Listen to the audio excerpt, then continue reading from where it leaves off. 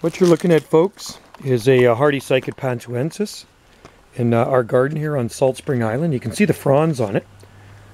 Beautiful fronds. This is one of the most cold hardy cycads uh, from China. So it's uh, January 18th today, 2016. I put a little uh, metal tomato ring over it and just put a little piece of plastic over top just to keep the uh, crown dry. But uh, probably wouldn't even need that. So um, these uh, this Cycas, Cycas uh, pansuensis, pansuensis comes from uh, Sichuan and northern uh, Yunnan provinces of China. And uh, very few specimens and uh, seeds of this plant have actually been allowed out of the country. So not a common cycad. It's beautiful cycad. It'll grow four to six feet tall and does well here in my garden, the high end of zone 8B, and I do grow a lot of zone 9 a plants as well. Um, this species is very cold hardy because it grows in an environment uh, with very cold and often frosty winters. So uh, we don't have a lot of frosty winters here. Or you know we get we do get frost, but not a lot of it. And uh, hardiness on this one I would say is down to about minus 6.5 or minus 6.6 degrees, which would equal about 20 degrees Fahrenheit. So um, this is one to try though.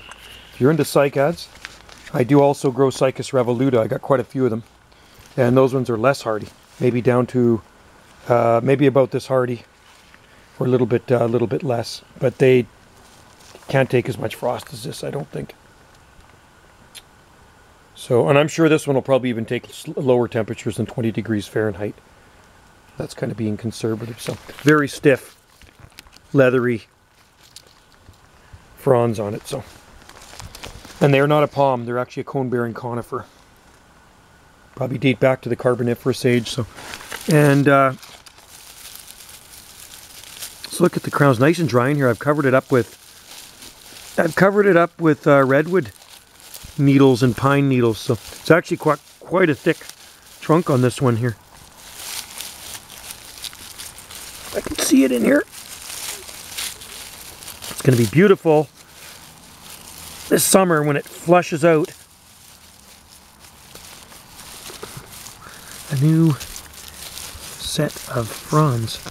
That's in there anyway. It's hard to see, but it's actually quite big and bulbous, the base. So anyway, I'm going to cover this thing back up and let it enjoy the rest of the winter in hibernation. And then uh, we'll cover it in March take the plastic off. I just, like I said, I just drape it over top of that tomato cage there. So anyway, that's one to try, folks. The uh, Hardy Cycad from China. Thanks for watching.